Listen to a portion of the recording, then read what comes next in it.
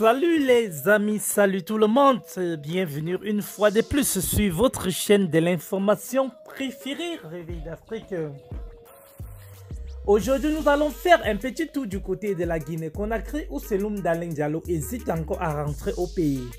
Pourtant, vous saviez que Mamadi Doumbouya est en train de manœuvrer pour organiser des élections présidentielles. Doumbouya est prêt à organiser les élections présidentielles sans des véritables opposants. On se pose la question à savoir quelle sera la décision que Seloum Dalin Diallo devrait entre autres prendre. Devrait-il entre autres déposer sa candidature en étant à l'extérieur du pays ou doit-il rentrer en pays pour mobiliser ses troupes et postuler ou se battre pour le poste de président de la République?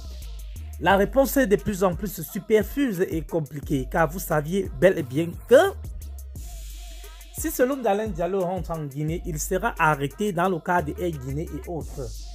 Même si cela n'est pas euh, un problème, il peut être kidnappé tout simplement comme le cas de Fonike Mengue ici. Jusqu'aujourd'hui, ils sont toujours introuvables. On se pose la question à savoir où ils sont partis. l'homme d'Alain Diallo est donc conscient que s'il rentre en Guinée, cela représente un véritable danger pour lui. Et s'il reste hors de la Guinée, cela sera difficile pour lui de se présenter à l'élection présidentielle et de gagner. Raison pour laquelle il est en train de réfléchir car il est entre le clou et le marteau.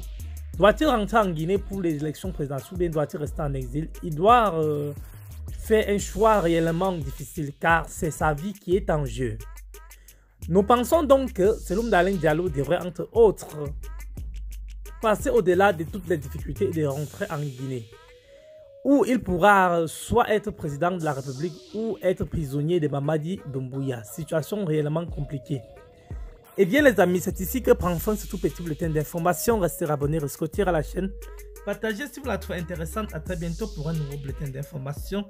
D'ici là, portez-vous très très bien.